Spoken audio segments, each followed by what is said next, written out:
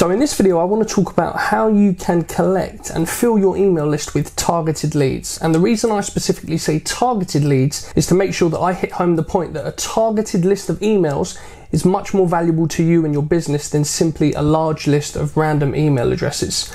So many marketers and business owners, especially when first starting to build up their email list, they make the mistake of thinking that their list needs to be as big as possible, filled with as many email addresses as possible, because that means that they'll end up making more money. And this is absolutely not true. Rather than focusing on the amount of email addresses that you have on your email list, you should instead spend time focusing on the quality of those email addresses. You'll be able to generate much more revenue from your list if your list is actually full of people that are actually interested in the services that you can offer them. So once people learn and understand that point, the obvious follow up question is how do you find people who are interested in your services and then collect their email address? Now, the answer to that question is landing page traffic. You need to get as many interested eyes onto your email landing page in the hopes of converting them into giving you their email address in exchange for something in return. Now, you have two options when it comes to traffic. You can either use paid traffic or you can use organic traffic. Paid traffic is not something I'm going to cover in great detail because that in itself could be made into a completely different course, and most marketers are on a tight budget.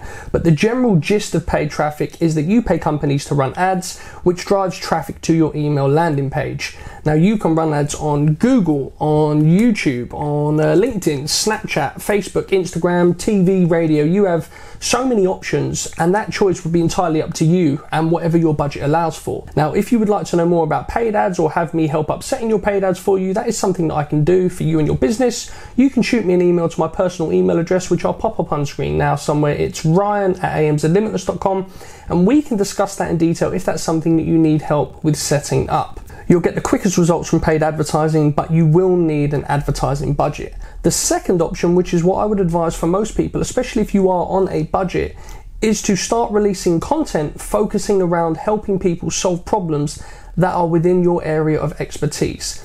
Now, the content that you release is entirely up to you, whether you choose to make videos, you can make PDF files, pictures, infographics, or even simply helping people inside of places like forums or Facebook groups. These are great ways for you to be able to interact with people who are looking for your help inside of your area of expertise. Now, for me, once I became a very successful Amazon seller, I created a YouTube channel a few years ago now where I would create and release free videos teaching people about many aspects of how to sell on Amazon.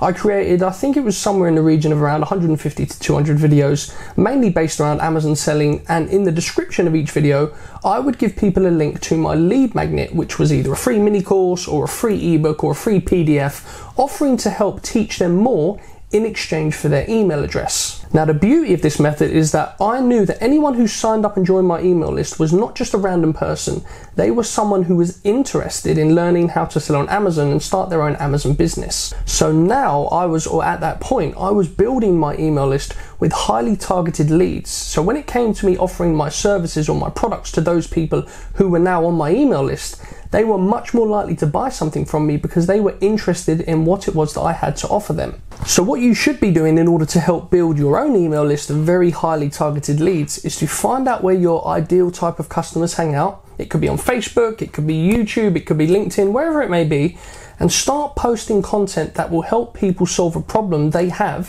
which is related to your area of expertise.